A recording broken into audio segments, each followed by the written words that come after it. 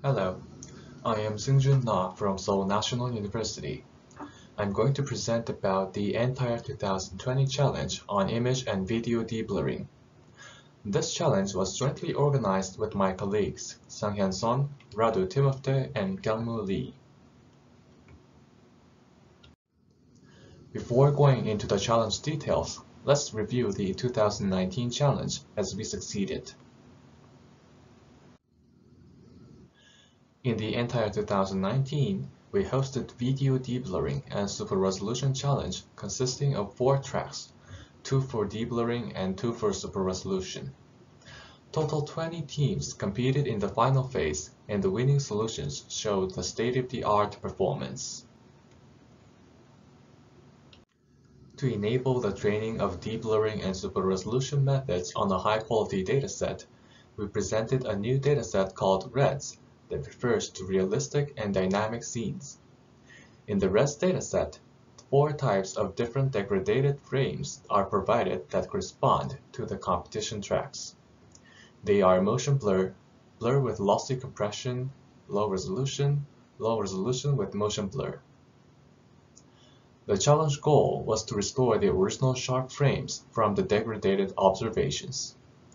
For the dataset details, please refer to the NTIRE 2019 presentation slides.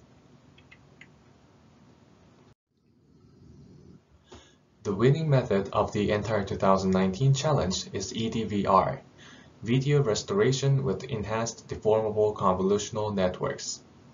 They used alignment model to compensate for the motion between frames, followed by the fusion and reconstruction modules.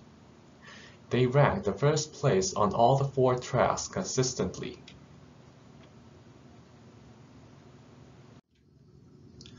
Now, let's move on to the 2020 challenge. In NTIRE 2019, we concentrated on the accuracy of the video restoration methods. In addition to the video algorithms, this year, we also evaluated the image restoration methods, focusing on the deblurring task. Also, we aimed to encourage developing more practical solutions by deploying them to the mobile phones. To achieve the challenge goal, the NTIRE 2020 challenge is organized by setting three tracks in parallel.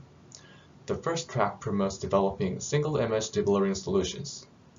Given a blurry image, the goal is to restore the result that is as much accurate as possible without considering the computational cost.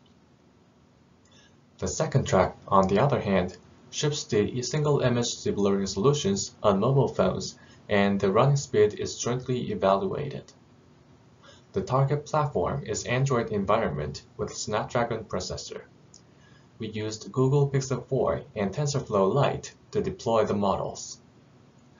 Finally, the track 3 compares the video deblurring methods that exploit the temporal information between input frames. This is the same as track 1 of 2019 challenge. The overall challenge configuration can be summarized into the following table. As track 2 employs a different environment from the other tracks, the mobile track specifics are highlighted with yellow color. For track 1 and 3, accuracy is the primary goal, while for track 2, the speed is also evaluated in terms of frames per second. The challenge lasted for the three months, beginning from the end of 2019.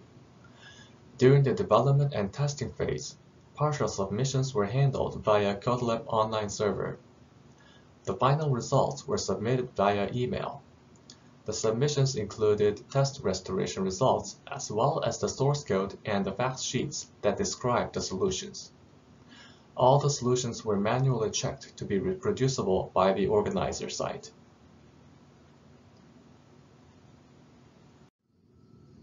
Now, let's look at the challenge results.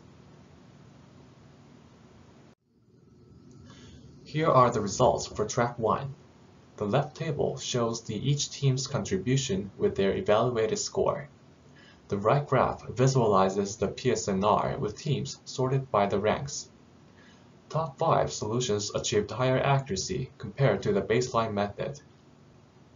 Several methods exploit multi-scale or hierarchical information by presenting new architectures. The winning method was proposed by Uni-A team. Uni-A team won the first place in track 1. They proposed using Wide-Atrous block as a building block for their model. The Wide-Atrous block aggregates information from the white receptive field. By using different Atrous or dilation rates in parallel, followed by a convolutional layer, they expanded the receptive field as shown in the right figure. On the other hand, OIRM team who ranked the second place proposed a fractal network. They made a residual block called AFB, attentive fractal block. A higher level AFB is constructed by using the lower level AFB as its building module with channel attention. Finally, the AFN uses the highest level AFB to restore the deblurred images. Now, this slide shows the results for track 2. In addition to the PSNR, we set the FPS score using logarithm of relative frame rates over our baseline method. The gains in speed is designed to be diminishing to prevent deploying trivial solutions that could be extremely fast without much gains in accuracy. Four solutions from three teams achieved higher scores over our baseline. The baseline is a EDSR-like small model with four res blocks. Most methods adopted lightweight architectures and deployed them on mobile GPUs. In contrast, the winning solution from MTKUR team quantized their model to 8 bits. By doing so, their model was further accelerated by DSP via Android Neural Networks API. MTKUR team adopted a U-Net architecture as their backbone. The operations in the network were chosen to be DSP-friendly, such as rectified linear units instead of parametric rectified linear units. They investigated into various layers as they might not be optimal for mobile accelerators. Additionally, they pruned and quantized parameters in the learning process to further compress the model. For more details, please refer to their paper. Finally, track 3 results are shown in this slide. As this track task is the same as NTIRE 2019, we compare the result with EDVR, which is the winning solution of the NTIRE 2019. There were attempts to use refinement modules on top of EDVR. Also, several new architectures were proposed. Unfortunately, no method improved over EDVR in terms of PSNR and SSIM. After the challenge was over, we received feedback from the participants about the future challenges.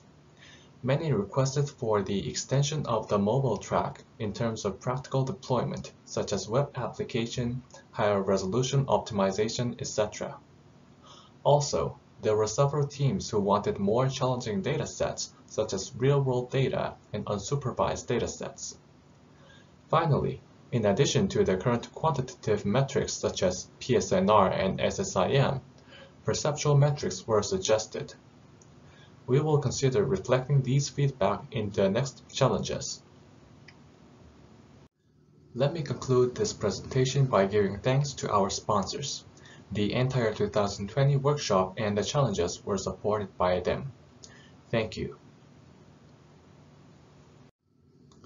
The REDS dataset and the other related information is available on my website. Thank you for your attention.